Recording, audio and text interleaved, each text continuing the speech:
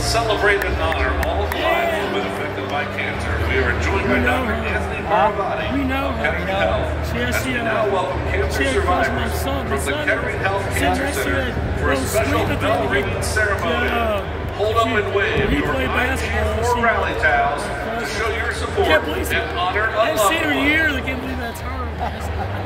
Grow From up. Springfield, please welcome